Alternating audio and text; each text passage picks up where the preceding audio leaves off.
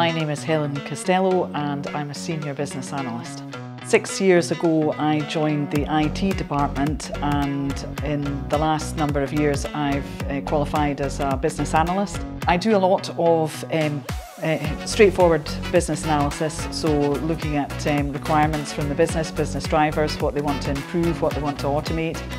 It's very much a, a, a team environment in IT and it's a very fast-paced environment as well so we're always working to um, deliver things as quickly and as efficiently as possible and that's very much um, working with the best of people and what, their skill set um, can deliver.